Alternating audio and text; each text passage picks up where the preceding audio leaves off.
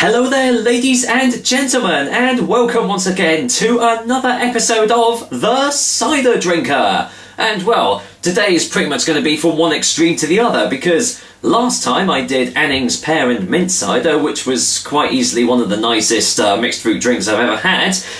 And now we are going to go back to, well, it's actually been, well, quite a while since I've actually done a review of this sort of drink because uh, way back in my 10th review I reviewed Original Magners and now I'm just finally getting around to doing Magners Pear Cider. So, uh, well, I'm pretty sure you've all seen Magners Pear Cider about, but for those of you uninitiated with, um, with the drink and everything, let's go and get the lowdown on Magners pear cider. Magners pear cider comes in 568ml bottles, but you can also get it in, well, pretty much anything else really. You can get it in 440ml bottles, and you can also get it in uh, 330ml bottles, and also 440ml cans. And uh, I do believe you can also get it in 500ml cans as well, so yeah, quite a lot of variety there. The alcohol percentage is a pretty bog standard 4.5%, so nothing really different there.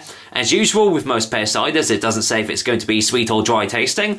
And the price, well, as with most other ciders like this, it varies greatly. I'm just going to say it's going to be around about £1.99 for a bottle, but I managed to get this one for a quid. So it just shows you that uh, it's always on a deal or something, so just keep looking about if you want to try Magners Pear.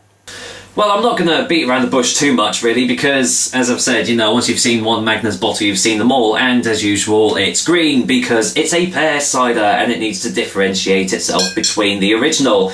Um, it doesn't say much on the front, it just says a refreshing taste. I'll be the judge of that. Irish cider since 1935, only the best quality pears. Yeah, I'll believe that when I see it. There's method in the Magners, I'd like to know which one. Here at Magners, we go to unusual lengths to bring you our distinctive tasting pear cider. The only fruit we use in our pear cider is pears, pears, and pears. And most likely sugars and stuff like that. It just says contains sulfites to preserve freshness. The only um, good thing about this is not that, you know, no fat women can have it, but uh, 568 mils, so, you know, you're getting a pint at least.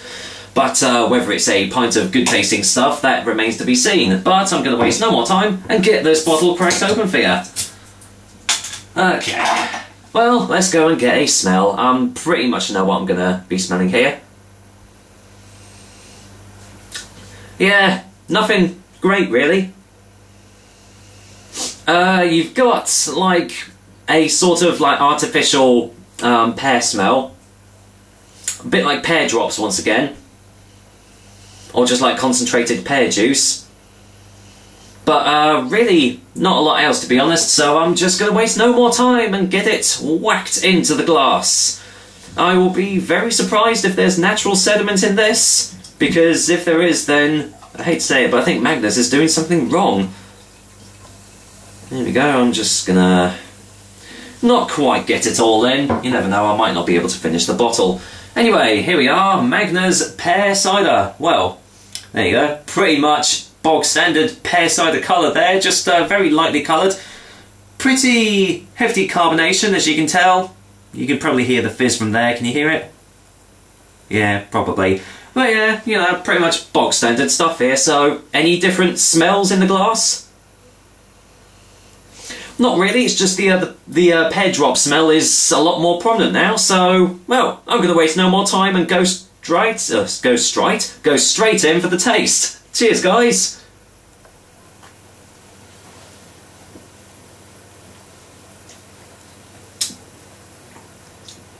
Wow. Eee, that's, uh, that's, that's even worse than I imagined it would be. Um, obviously, I'll be honest with you guys, I have had Magners Pear before, but that was quite a while ago and I can kind of see why. This um, tastes a lot worse than I last thought it was. Well, I think so anyway. Let's get a second opinion.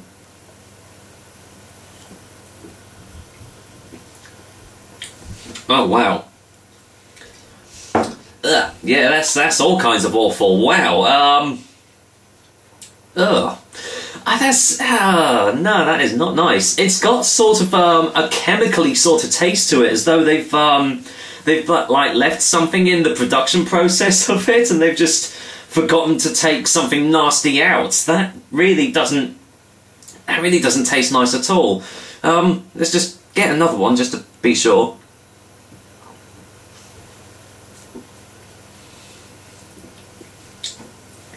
Oh wow, yeah, that is really bad. Mm. Oh Jesus! And the, the really the only other thing you're getting is just um, massive amounts of just sweeteners and sugars, and you know the general rubbish that you normally find in uh, this sort of drink. Oh, but wow! I I didn't expect it. It would it would taste that bad.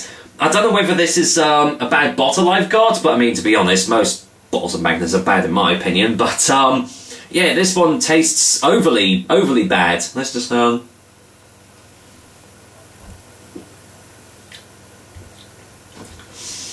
It's just uh, it's just got that it's just got that thick syrupy consistency that you get in you know most industrially made ciders um, where they've just added all the artificial um, rubbish into it naturally because of that you are getting you know your, your throat is just like clogging up with all this gunk that uh, you know it's just really thick, syrupy, and just not enjoyable to drink at all.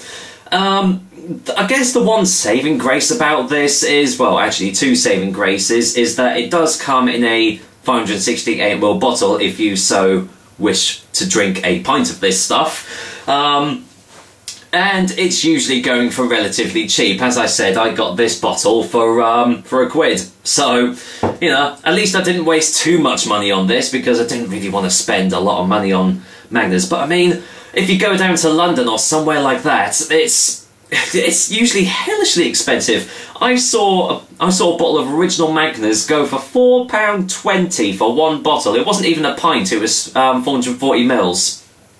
And that's bloody extortionate, especially for the stuff that it is, you know, which is artificial, sugary, sweet crap, and really, you shouldn't be drinking it. Um, well, I'm not going to waste any more time. Let's get a final taste before the final verdict.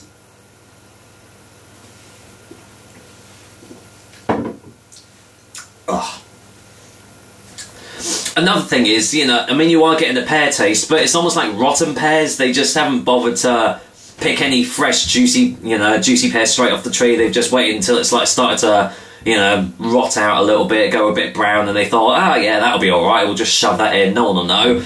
Um, basically, to cut a long story short, don't buy this. As much as it looks appealing and you think, oh yeah, this, you know, if you've never tried a pear cider before, this is definitely not the best way to go for a first time. Um, obviously, you know, they're trying to appeal to you by making it, you know, attractive and appealing, but, you know, looks can be deceptive. I would say do not buy this, but I can see why some people would, because, you know, it is... It's cheap, and, you know, you are getting more for your money. So, I can't be too harsh with this, but I am going to go and give Magners Pear Cider a 3 out of 10. Um, I could have gone lower, but as I've said, it is cheap and, you know, some people do find it drinkable.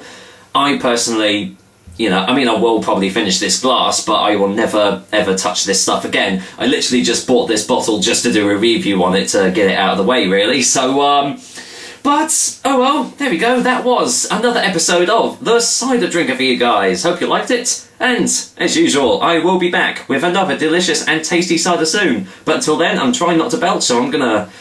I'm gonna rush this along. So, take care, guys. Until next time.